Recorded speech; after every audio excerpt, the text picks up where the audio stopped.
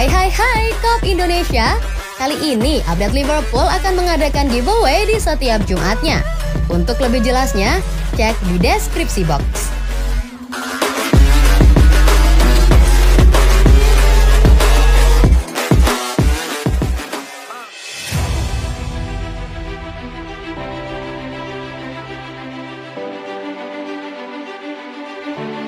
Alami cedera, Nabi Keita disinyalir akan segera bisa kembali memperkuat Liverpool. Nasib Nabi Keita di musim 2022-2023 ini nampaknya belum terlihat baik karena dirinya belum bisa mendapatkan menit bermain dari Liverpool lantaran mengalami cedera hamstring.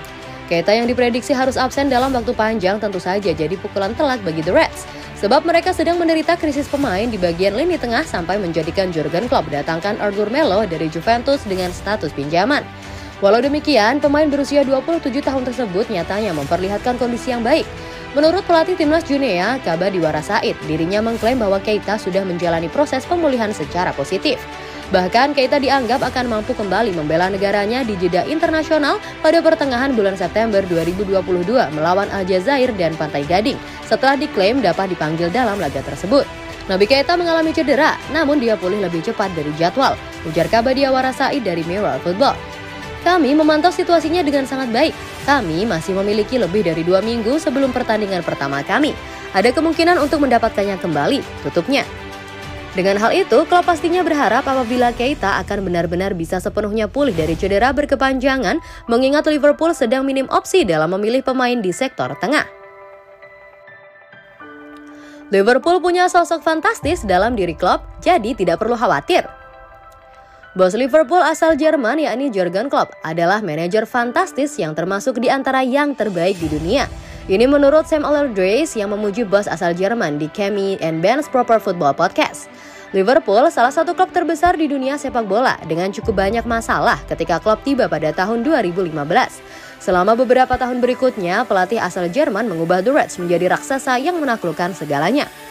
The Reds memenangkan Liga Champions pada 2019 serta Piala Super Eropa dan Piala Dunia Klub FIFA.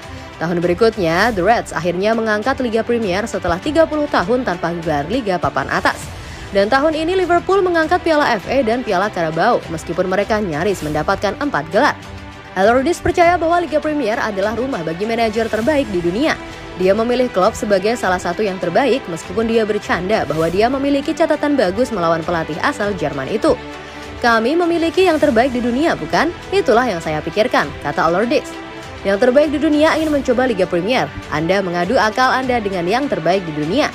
Saya memiliki rekor bagus melawan Jurgen kecuali 30 detik terakhir di West Brom ketika kiper mencetak gol. Saya tidak pernah melupakan yang satu itu, tapi ya saya sudah melakukannya dengan baik. Dia adalah manajer yang fantastis di klub sepak bola yang fantastis sekarang. Imbuhnya. Trent tidak akan pernah dicadangkan Liverpool meski bermain buruk. Agen super Rob Segel memberi vonis menarik tentang Trent Alexander-Arnold di tengah performa buruknya untuk Liverpool sejauh musim ini. Backanan The Reds bersinar sejak 2018 dan memiliki karir yang fenomenal secara keseluruhan di Anfield. Alexander Arnold telah memenangkan banyak penghargaan utama sebagai andalan di bawah Jurgen Klopp, termasuk Liga Premier, Liga Champions, Piala FA, Piala Liga, Piala Super UEFA, dan Piala Dunia antar klub FIFA. Namun, selama musim 2022-2023 sejauh ini, pemain berusia 23 tahun itu kian sulit untuk mengatasi pertahanan dan telah menarik kritik dari beberapa media yang terbaru setelah penampilan lesunya dalam kekalahan 4-1 Liverpool dari Napoli di Liga Champions. Berbicara kepada Car agen Super Seagull mengklaim bahwa ada perasaan arogansi dari anak muda itu di lapangan. Liverpool memiliki masalah cedera besar yang tidak membantu dan pemain seperti Trent Alexander-Arnold mungkin perlu istirahat lama, katanya. Namun karena posisinya di dalam klub, Anda bisa merasakan arogansinya saat dia perlahan berlari kembali ke gawang. Alexander Arnold tahu bahwa tidak peduli apa yang dia lakukan, benar atau salah, dia kemungkinan akan bermain dari awal minggu demi minggu. Bukan rahasia lagi bahwa Alexander Arnold jauh lebih baik dalam menyerang daripada dia bertahan. Jadi kelemahannya perlu ditutupi dan sayangnya untuk klub saat ini tidak ada lini belakang timnya yang bermain sangat baik. Waktu penurunan performa mereka benar-benar disayangkan. Legenda Liverpool nilai Ronaldo tak lagi spesial di lapangan. Cristiano Ronaldo disamakan dengan pemain-pemain uzur pada umumnya. Pemain berusia 37 tahun milik Manchester United dinilai tak spesial lagi. Bagaimana tidak, Ronaldo tampil buruk sejak bergulirnya musim 2022-2023. Dari tujuh penampilannya bersama Manchester United di semua kompetisi, Ronaldo belum mencetak gol. Terbaru saat CR7 tampil penuh di pertandingan Liga Eropa menghadapi Real Sociedad, satu golnya dianulir wasit.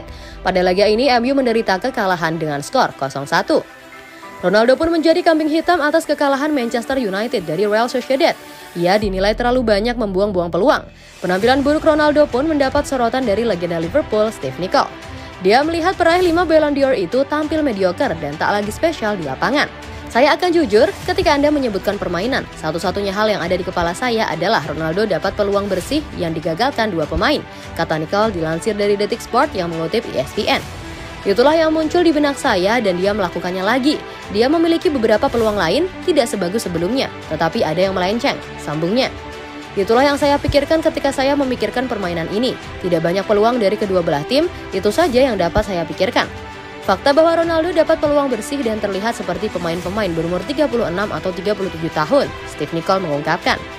Cristiano Ronaldo mencetak 24 gol dalam 28 pertandingan bersama Manchester United musim lalu. Dengan kondisi saat ini, bukan tidak mungkin bomber Portugal itu kesulitan mengulangi catatannya tersebut.